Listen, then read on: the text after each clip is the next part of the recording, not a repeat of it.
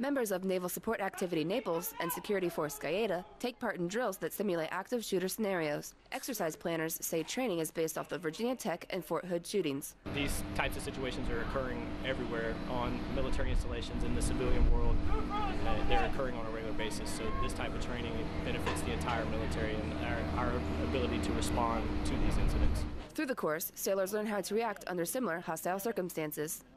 Our job here is we're training the security forces to aggressively assault those targets in order to respond and increase their capabilities to those types of threats.